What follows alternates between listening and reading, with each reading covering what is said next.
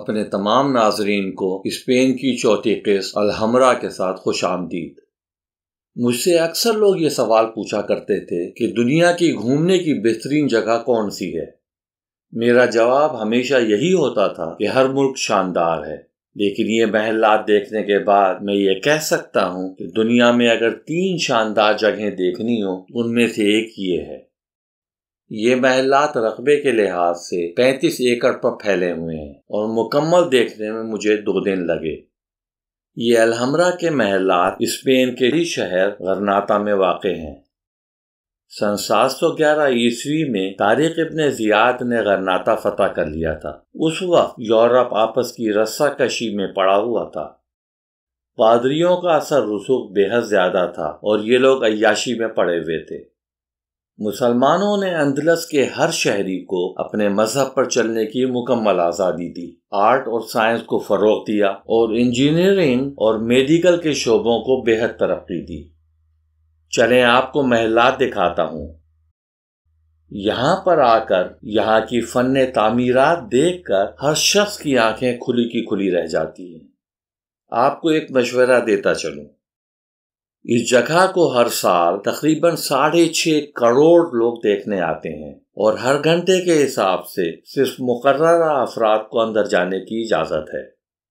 پیشگی ٹکٹ کئی ہفتوں سے تین مہینے پہلے تک بک ہو جاتے ہیں۔ البتہ اپنے ہوٹل کے توسط سے شاید کچھ ٹکٹ دو چار دن کے بعد کے بھی مل جائیں۔ اس لیے بکنگ بہت پہلے سے اپنے کمپیوٹر پر جا کر آن لائن کروا لیں۔ بہتر یہی ہوگا کہ صبح سویرے کی بکنگ کروائیں تاکہ بھیڑ باڑ سے بچ جائے اور ہاں اپنے ہوٹل سے بس کا پتہ کر لیں۔ بہت ہی سستے میں یہاں پہنچ جائیں گے۔ ورنہ اگر ہمت ہو تو ایک گھنٹہ اوپر چڑھ کر پہنچ جائیں۔ یہ یاد رہے کہ ٹکٹ پر موجود مقررہ وقت سے نہ تو آپ پہلے داخل ہو سکتے ہیں اور نہ ہی بعد میں۔ اس لیے وقت کی پابندی لازمی ہے۔ سب سے پہلے آپ کو القذابہ لے چلتا ہوں۔ یہ حفاظتی قلعے کے طور پر استعمال کیا جاتا تھا۔ یہاں پر فوجی رہا کرتے تھے اور یہ الحمرہ محلات کی سب سے پرانی عمارت بھی ہے۔ یہ اس وقت کی بات ہے جبکہ اندلس میں مسلمان چھ سو سال حکومت کر چکے تھے۔ سن بارہ سو اڑتیس عیسوی میں موروں کی حکومت گھٹ کر بے حد کم علاقوں تک محدود ہو چکی تھی۔ اس وقت سلطان عبداللہ ابن الحمر نے غرناتا میں پناہ لی اور ساتھ میں اس جگہ پر ایک محل تعمیر کرنے کی ٹھان لی۔ اس کے بعد بنو نصر خاندان کے سلطان آہستہ آہستہ اس محل کی توسیع کرتے رہے۔ اس سلسلے کے آخری سلطان محمد کے دور میں سن چودہ سو بیانوے عیسوی میں عیسائیوں نے مسلمانوں کو مکمل شکست دے کر یہ محل اپنے قبضے میں لے لیا۔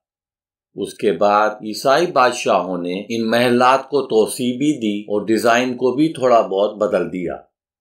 اب چلتے ہیں ناصرت محلات کی طرف۔ یہ محلات بادشاہ یوسف اول اور اس کے بیٹے محمد پنجم نے تعمیر کروائے تھے۔ یہ محلات نہ صرف بادشاہ کی رہائش گاہ بلکہ آفس، تقریبات اور تفریح گاہ کے طور پر بھی استعمال کیے جاتے تھے۔ یہاں کے کمرے اس طرح سے بنائے گئے تھے کہ سورج کی روشنی اچھی طرح سے اندر آ سکے۔ اس کے علاوہ یہاں کی ڈیکوریشن بے حد دلکش ہے۔ اب چلتے ہیں میکسوار ہال کی طرف۔ بڑے عہدے دار اس ہال کو آفیشل میٹنگز کے لیے استعمال کیا کرتے تھے۔ یہاں کی ڈیکوریشن پر ذرا غور کریں۔ یہاں کے جیومیٹری کے نمونوں پر مشتمل ٹائل بے حد دلچسپ ہیں اور ہر جگہ یہ لکھا ہوا ہے جس کے معنی ہیں اللہ سب پر غالب ہے نہ صرف یہاں بلکہ تمام محلات میں جا بجا یہی لکھا ملے گا۔ اس کے علاوہ یہاں پر یہ پیٹرن بھی ملیں گے جو کہ فطرت پر مبنی ہیں، جیسے کہ دیواروں پر پھولوں کی بیلیں چڑھی ہوئی ہیں۔ ٹائلوں کے پیٹرن، کہکشاں، کائنات اور قدرتی نظاروں کی عکاسی کرتے ہیں۔ یہ پیٹرن جیومیٹری اور آرٹ کا انتہائی دلچسپ مرکب ہے۔ اب چلتے ہیں سنہری کمرے کے کوٹ کی طرف۔ یہ علاقہ عمومی لوگوں اور شاہی محلات کا درمیانی حصہ ہوا کرتا تھا۔ یہ جگہ خطاطی کے اعتبار سے اپنی مثال آپ ہے یہاں پر دو داخلی دروازے ہیں جو کہ لگتے تو ایک جیسے ہیں، لیکن صرف بائیں طرف کا دروازہ شاہی محلات کی طرف لے جاتا ہے۔ اگر آپ سیدھے والے دروازے سے اندر جائیں گے تو کچھ دیر چلنے کے بعد راستہ بند ہو جاتا ہے۔ یہ حفاظتی اقدام کے طور پر تھا تاکہ اگر کوئی حملہ آور ہو تو وہ کنفیوز ہو جائے۔ الٹے ہاتھ کے دروازے سے اندر داخل ہو کر محلات کے بیچوں بیچ پہنچا جا سکتا ہے۔ یہ کومرس محل ہے۔ اس کا عربی نام عمریہ ہوا کرتا تھا، جس کا مطلب ہے رنگین شیشوں کا محل۔ یہ بعد میں بگڑ کر کومرس ہو گیا۔ یہاں پر نہ صرف بادشاہ رہا کرتا تھا، بلکہ یہاں پر وفود سے بھی ملاقات کیا کرتا تھا۔ یہ کشتی کا حال ہے۔ ویسے اس کا اصلی نام برکا حال تھا۔ یہاں پر جگہ جگہ برکا لکھا ہوا ہے۔ آہستہ آہستہ اس کو براکا کہا جانے لگا۔ یہ اسپینش زبان کا لفظ ہے جس کے معنی ہے کشتی۔ ویسے یہاں کی چھت بھی ایک کشتی کی طرح ہے۔ سلطان اپنے ملاقاتیوں کو متاثر کرنا چاہتا تھا، اس لیے اس نے بہترین کاریگروں کو لگا دیا۔ یہ کہہ کر کہ بہترین سے بہترین ڈیزائن بنائے۔ ویسے اس کو ہال آف ایمبیسیڈر یعنی سفیروں کا حال بھی کہا جاتا ہے۔ کسی زمانے میں اس کا فرش ماربل سے بنا ہوا تھا۔ یہاں کی دیواریں عربی تحریروں سے بھری ہوئی ہیں، جن میں سے اکثر پرانی آیات بھی ہیں۔ اس کے علاوہ یہ دیواریں بے حد خوبصورت ٹائل اور پلاسٹر سے سجائی ہوئی ہیں۔ اس کا گنبد بھی لکڑی کے چھوٹے چھوٹے ٹکڑوں سے ڈیزائن کیا گیا ہے۔ اس کے علاوہ درمیانی حصے کو ایسے سجایا گیا ہے کہ لگتا ہے کہ جیسے چاندی اور ہاتھی دانت کا کام کیا گیا ہو۔ اس حال میں تھوڑا سا اندھیرا ہے، لیکن تمام روشنی کو شاہی تخت کی جگہ پر ڈالا گیا ہے تاکہ سلطان نمایاں رہ سکے۔ یہاں کے بے حد خوبصورت ڈیزائنوں والے ٹائلز لاجواب ہیں۔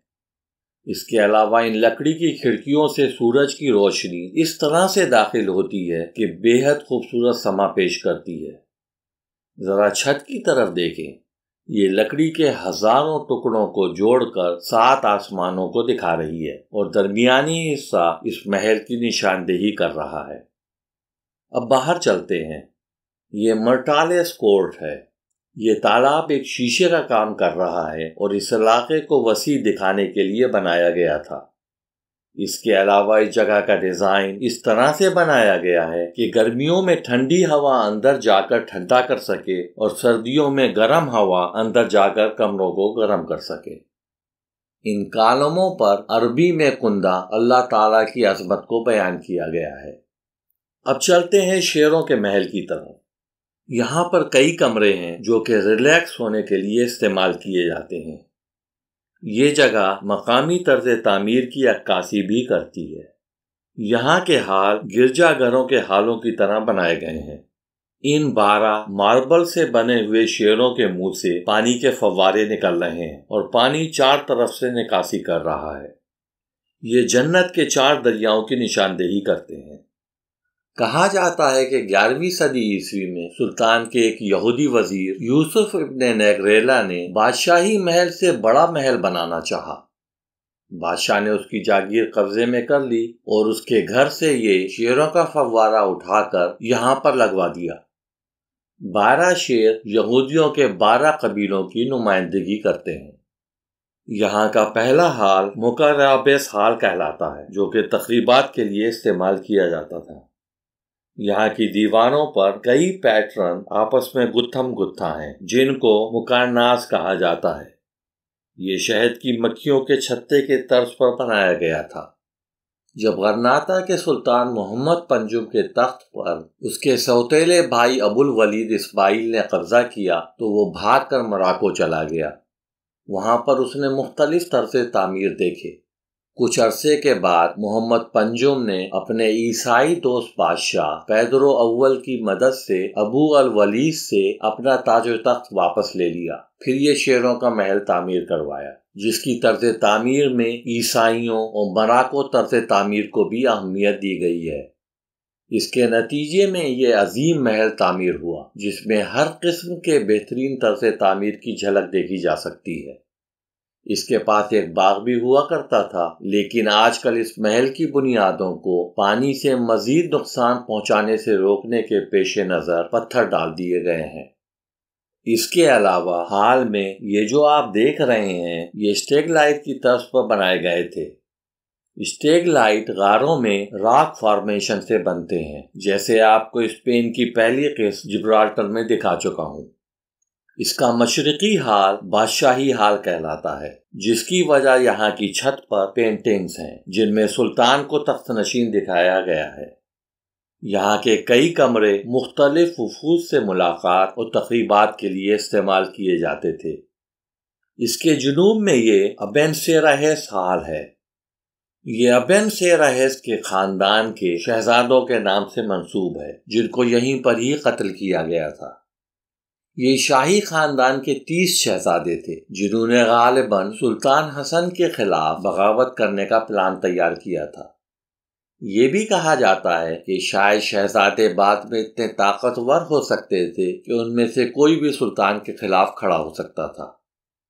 بہرحال، ان سب کو اسی جگہ قتل کر دیا گیا اور کہا جاتا ہے کہ ان کے خون کے نشان ابھی تک ٹائلوں پر باقی ہیں۔ شمالی حصے میں سارا دے دو سرماناس ہے، جس کے معنی ہیں دو بہنوں کا حال۔ جس کی وجہ دو بڑے بڑے ماربل کے سلیبس ہیں، جو کہ دونوں داخلی دروازوں پر پڑے ہوئے ہیں۔ یہاں کی چھت بھی پچھلے حال کی طرح ہے اور ستارے کے طرف پر بنی ہوئی ہے۔ ان ستاروں کی تعداد پانچ ہزار بتائی جاتی ہے۔ یہ سارے ستارے سائز اور شکل میں ایک دوسرے سے مختلف بھی ہیں۔ اس کے حال کے درمیان میں ایک فوارہ بھی لگا ہوا ہے۔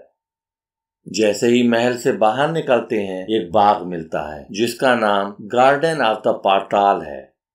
یہاں پر پانچ آرچز ہیں، جن کا آگ شفاف تالاب میں پڑ رہا ہوتا ہے۔ یہ ہمام ہوا کرتا تھا۔ یہاں پر کئی مساج کے کمرے بھی ہوتے تھے۔ یہاں کے چھت کے روزنوں سے بھاپ کی مقدار کو کب زیادہ کیا جا سکتا تھا۔ حمام میں مختلف درجہ حرارت کے ٹب ہوا کرتے تھے۔ یہاں کی زمین کے نیچے پانی گرم کیا جاتا تھا اور مختلف پائپوں کی مدد سے اوپر پہنچایا جاتا تھا۔ نہانے والوں کو پھسلنے سے بچانے کی غرض سے مخصوص موٹے جوتے پہننا پڑتے تھے۔ اب آپ کو لے چلتا ہوں جنرل لائف کی طرف۔ اس کا عربی نام جنت العریف تھا، جو کہ بگڑ کر جنرل لائف ہو گیا ہے۔ یہ ایک بےحد بڑا باغ ہے۔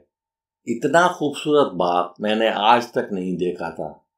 یہاں کے سنوبر کے درخت اور اس کی باڑیں اپنی مثال آپ ہے اگر آپ چل چل کر تھک گئے ہوں تو اس باغ میں آ کر ریلیکس ہو جائیں۔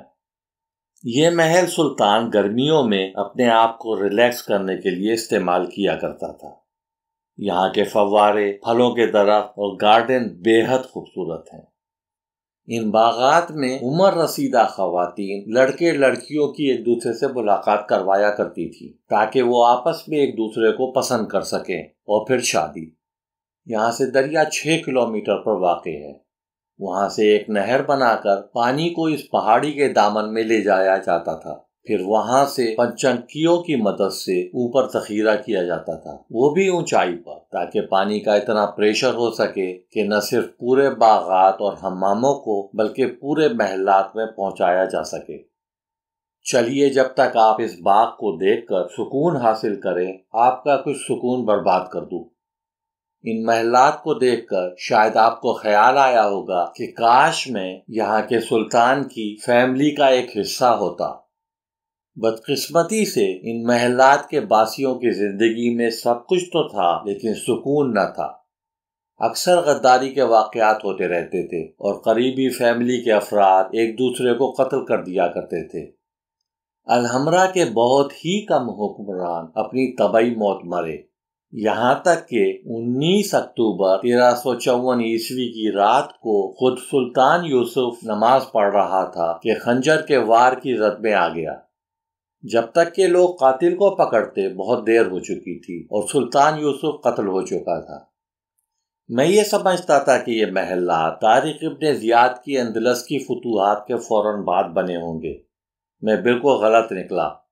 دراصل یہ تقریباً سات سو سال بعد بنے، جبکہ مسلمانوں پر اسپین میں زوال کا سلسلہ شروع ہو گیا تھا اور آہستہ آہستہ علاقے خالی کرنے پڑ رہے تھے۔